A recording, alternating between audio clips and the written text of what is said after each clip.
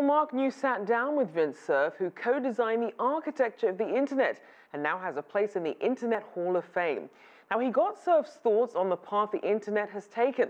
And Mark began by asking him about the importance of hitting this milestone of half the world's population being online.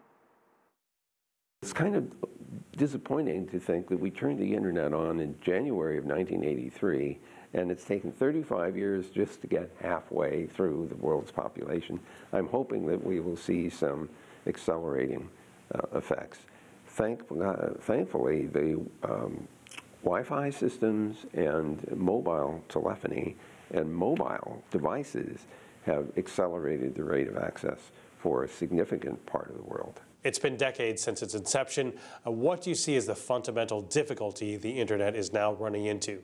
Well, uh, first of all, just getting it uh, accessible has been a challenge because as we penetrate into places where there's less disposable income, we have to drive costs out of the system. So getting the infrastructure to be less and less expensive is important. And then we have to try to maintain the uh, other important uh, celebratory point of today, and that's the 70th anniversary of the Universal Declaration of Human Rights.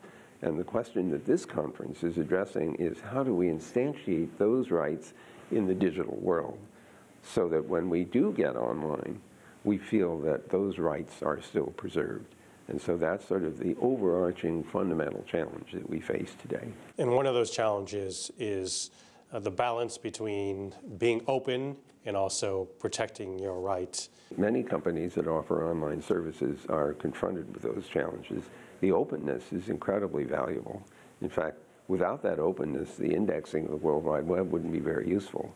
And so it's the freedom to not only inject information into the net, but find it and make use of it that's very important. The challenge that we face, though, is that these are neutral technologies. It's a platform. You can put anything that you want to on that platform. Some of that information may be misleading, could be deliberately harmful. Uh, on top of which, we also have problems like malware, where people distribute software or they launch denial of service attacks. So when people go online, they're looking for reliability, they're looking for safety, they're looking for security, they're look, looking for privacy. It's also a question of policy.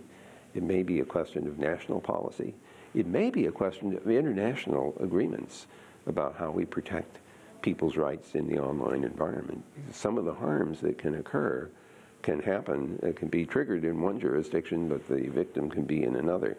So already you can see that there may have to be uh, multilateral and multi-stakeholder discussions.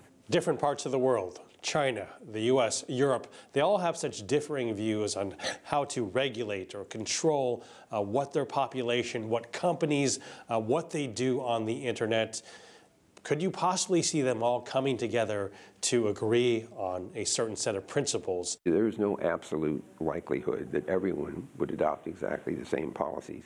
What we should be looking for, though, are policies that are compatible in some way across international boundaries. What that might mean is that there will be at least some agreement, I hope, on a multinational basis for rights in the online world that we would agree to enforce. What that means is that multiple countries will agree to um, to uh, cooperate in order to protect people from harm in online environments. The Internet of Things and artificial intelligence, what new set of challenges do these technologies bring to the table?